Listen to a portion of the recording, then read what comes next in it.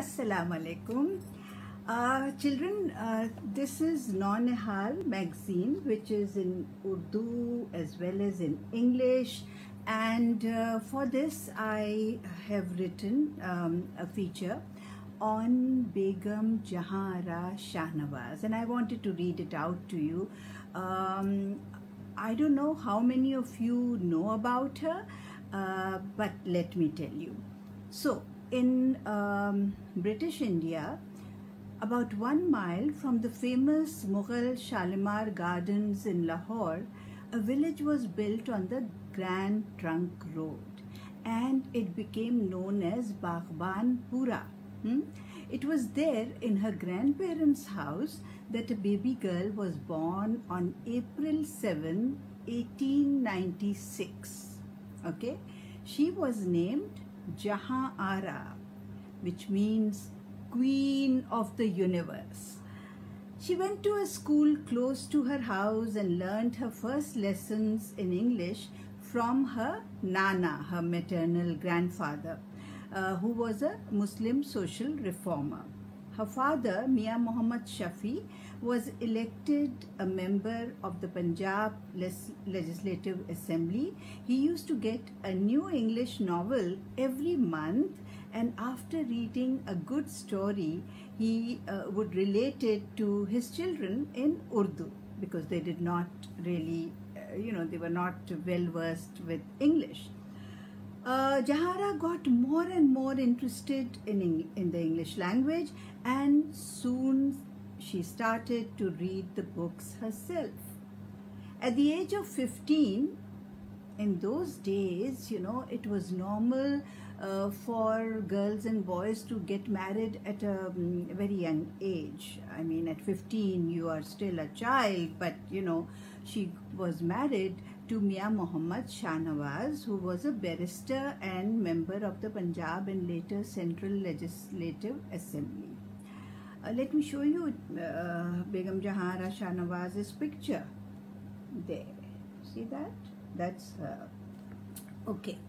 So, um, as Jahanara was keen to complete her education, she continued her studies it was only due to the special consideration of the British principal of the Queen Mary College in, in Lahore that uh, Jahanara was able to complete her education even after the birth of her first daughter in 1912. She became active in causes relating to uh, women's welfare and, and social change, including the All India Muslim Women's Conference and from 1920 the Muslim League hmm? because that came into being um, and uh, um, so she, she became involved with the Muslim League. In 1921, women gained the right to be elected to the legislatures. Le it's the legal body, you know, where laws are made.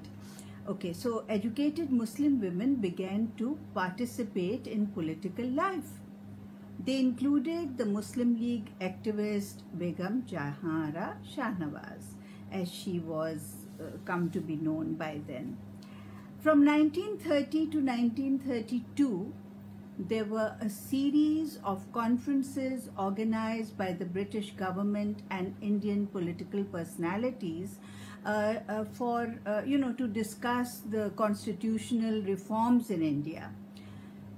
They are famously known as the Round Table Conferences, okay? They were conducted as per the recommendation of Muhammad Ali Jinnah, who was later known as Quaid-e-Azam uh, or the great leader.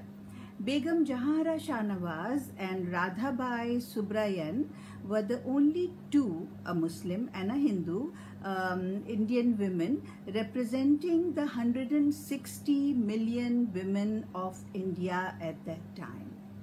Begum Shahnawaz's speech at the opening session of the conference was a huge success. She campaigned to change British misconceptions, misperceptions rather, about the backward state of women in India, saying that the so-called uh, unchanging East is unchanging no more, no longer.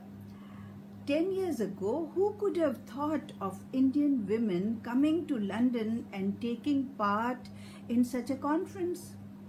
Today, two of us are actually sitting around on um, one table to evolve a suitable constitution for our country. Begum Shahnawaz died in 1979 but is remembered for her contributions throughout her life towards the Muslim women of India in terms of their social and cultural uplifting.